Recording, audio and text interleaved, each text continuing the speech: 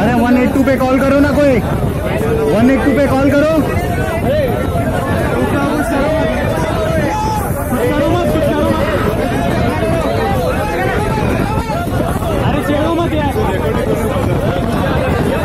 तो one eight two पे call करो ना रिकॉर्डिंग का क्या है?